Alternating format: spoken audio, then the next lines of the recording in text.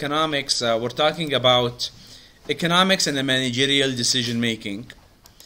And uh, in the next uh, less than 15 minutes, I will finish this chapter, so please pay attention.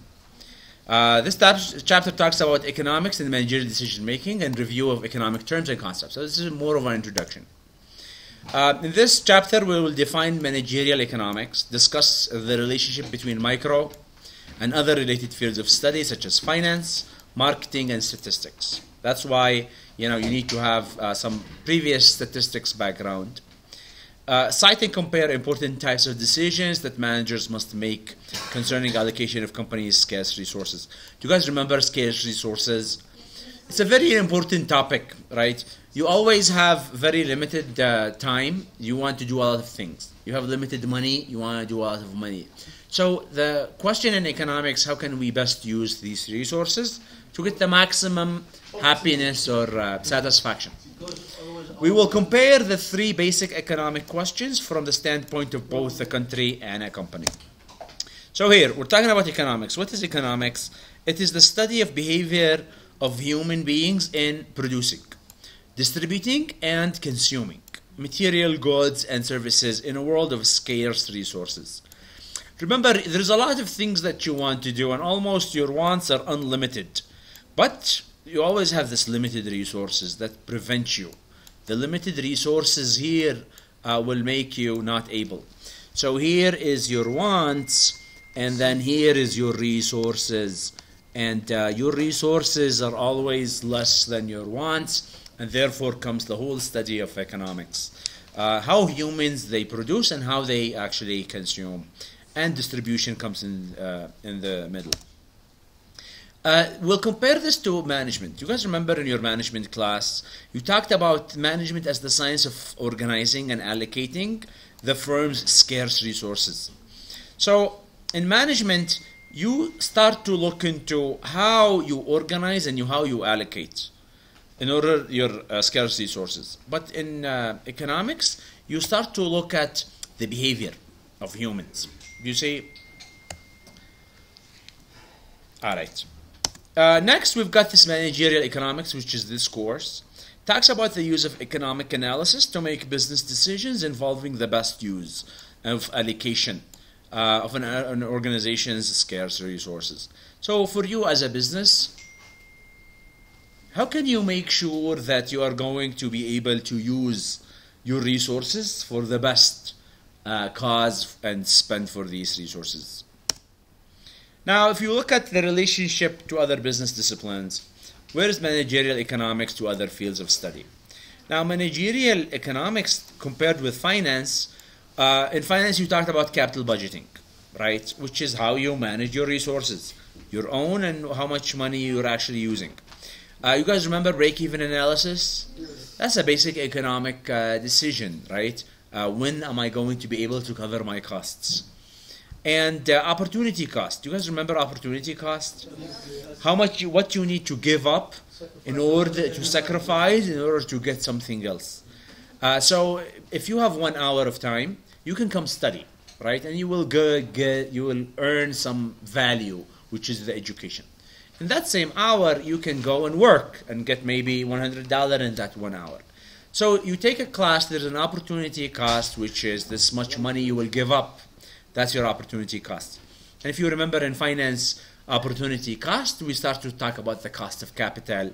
And then we tell you if you have $100, you can invest it and get at the end of the year $20 profit, or you can put it in the bank and at the end of the year you will get $20 profit. So maybe the opportunity cost in this business it's zero.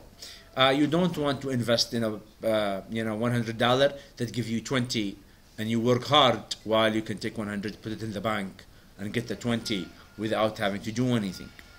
So that's a finance topic that is originally from a, uh, related to the managerial economics. And next we've got this economic value added. And what did we say economic value added? Is how much are you able to generate profits more than all of the other opportunities? We talked about if you have five managers every one of them can make 10% profit and the fifth one was able to give you 15%, then this last one give you an economic value profit of 5% more than what everyone else in the market can do. Uh, here we're talking about marketing. In marketing, you studied the idea of demand and the price elasticity. These are important decisions for marketing. People come originally from a managerial economics. Idea of managerial accounting in your uh, managerial accounting class probably talked about relevant cost, the cost that is very important in order to produce, compared with irrelevant cost that is money you spend but it has not and it has nothing to do with the direct product. So if you're going to do cost accounting for this particular product, you include the irrelevant or you don't include the irrelevant. That's an important topic that comes in managerial economics. Break-even analysis, we talked about it. Incremental cost analysis. Do you guys remember incremental cost analysis in your accounting? Which is, you know, incremental, like each one additional, how much it will cost in, in economics, we're very focused on to the idea of marginal cost and marginal benefits. Do you guys remember marginal cost and marginal benefits? You know, the, the, how much it will cost you to produce one more. If I have a business and I sell, uh, you know, 100 pizzas, how much it will cost me the pizza number 101? How much will it cost me? You know, probably it will not cost me like the first pizza. If I only do one pizza, it will cost me everything. It will cost me the salary of the labor. But the number 101, maybe you just need to uh, spend just, you know, whatever variable cost, or maybe, uh, maybe it's going to be, and depending on where you are in the production cycle, maybe that 101 is very expensive, because 101 it means you need to rent another uh, place or maybe you want to buy another cooker, or maybe you need to hire a new employee. So we were talking about this idea of marginal cost, where, and then opportunity cost. We talked about it. in your strategy, the types of competition. Remember, if I am in an oligopoly and I have uh, you know only few uh, uh, players in the market, I need to have a strategy. Do I have to talk to them? What happens if I cheat? Remember game theory rules. I need to consider you know, if I start to beat them on this, uh, you know, product line, maybe they will beat me on another product line. If we make an agreement, remember the cartel, the OPEC countries, they agree on how much they produce in oil. So, you know, a political uh, problem, political strategy can make this work and it can make it fail. Uh, structure, conduct, performance analysis. How is your performance going uh, given if you're a monopoly? How can you improve uh, your uh, monopoly uh, value? How can you gain more if you're the only player? Uh, remember the idea of you know some companies they make a strategy i want to come up with a new product that is very unique so all the people love it and i go and i register it and i get a patent remember apple when they have a patent over their iphone one button and then if someone try to follow my idea i go to the court and i tell them hey look uh, this was my idea and you cannot use it. And then how much Samsung had to pay Apple for their $9 billion. Uh, and then next, we're talking about the idea of management science, linear programming, regression analysis, and forecasting.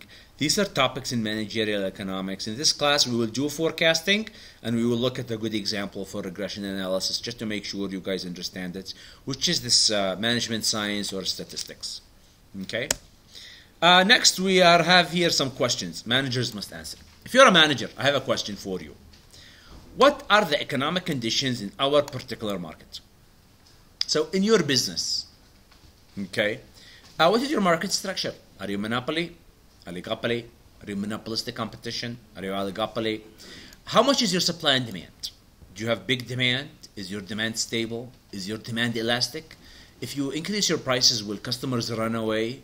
if you increase your prices, uh, will people stay, uh, come back to you? Will they move to a substitute? Uh, will other businesses be affected? What technologies are there? Is there a new technology that may change the entire business? Uh, these are questions that you need to ask uh, that is managerial uh, economics in nature. Should our firm be in this business? Okay, if so, at what price? Uh, in your business, do you set up your own price? Do you follow the market prices? Uh, can you control prices? What factors may reduce your price? Uh, is it highly possible that your price will increase or decrease? Your output level. How much do you produce? Do I produce one unit, 10 units, 100 units, 1,000, 1 million? Do I need to buy a lot of equipment to buy this, to produce this? Can the firm achieve a sustainable competitive advantage? Remember the idea of competitive advantage. What do you have that is giving you this value? And the question, how can you make sure it's sustainable? So you want to continue. Do you guys remember those people who sell potatoes or tomatoes? Uh, do they have a competitive advantage? Their product is available. It is, you know, offered at a reasonable price uh, in the correct markets.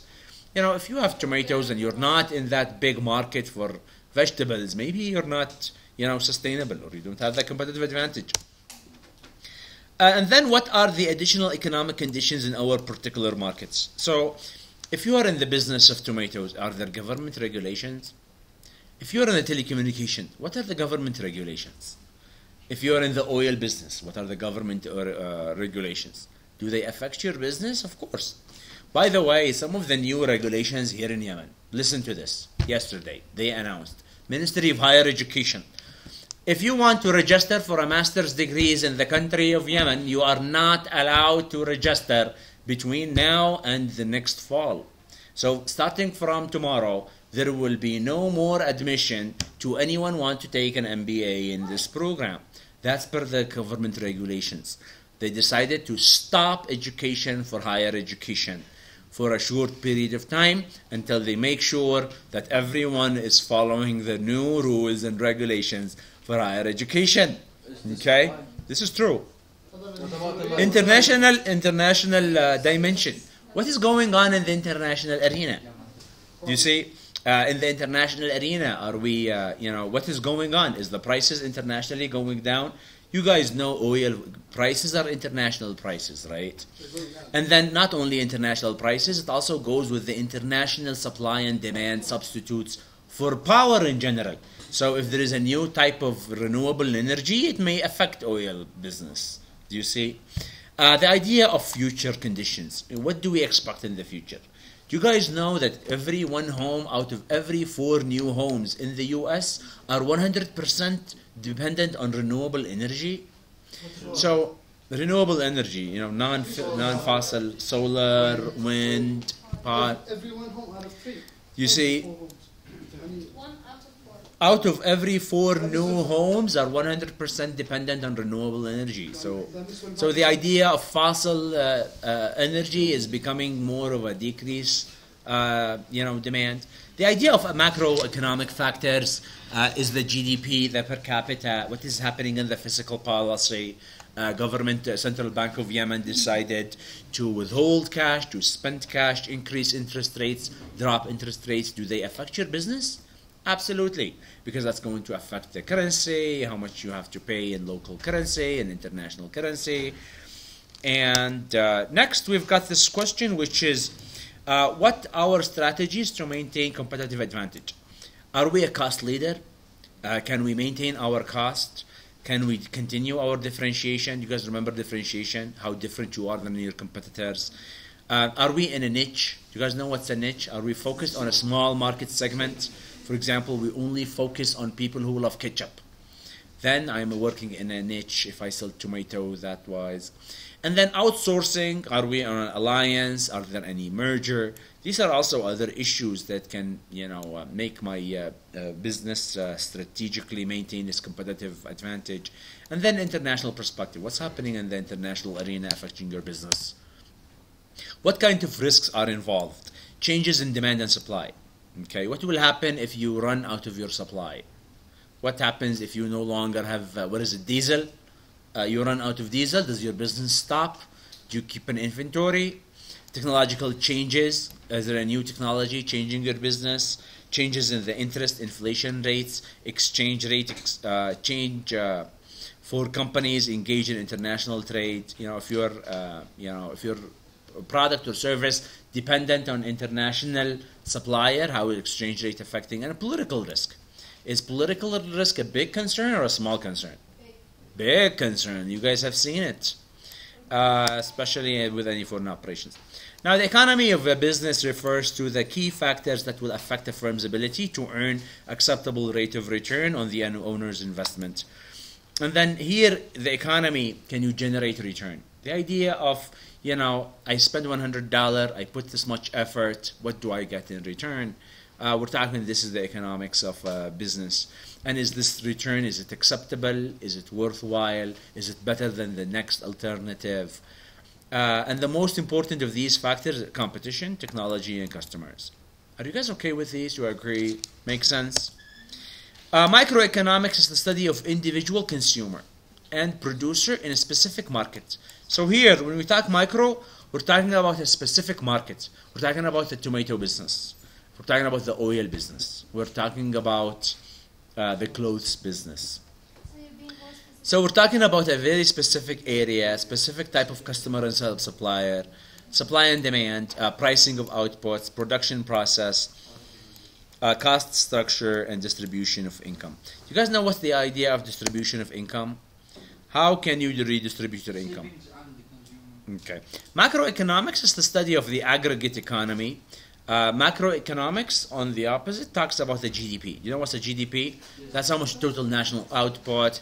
The idea of unemployment, the idea of inflation, uh, fiscal monetary policies, trade finance. Okay. Uh, I think we're running out of time. Uh, idea of scarcity. You guys know what scarcity? Good. Opportunity cost. Good. Uh, you guys know factors of production? Great. Uh, these are the main questions.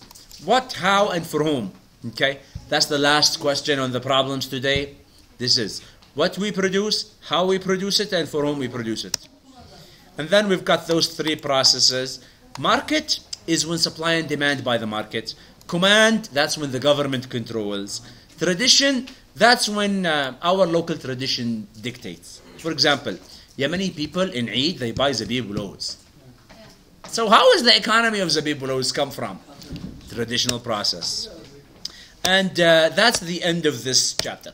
Okay?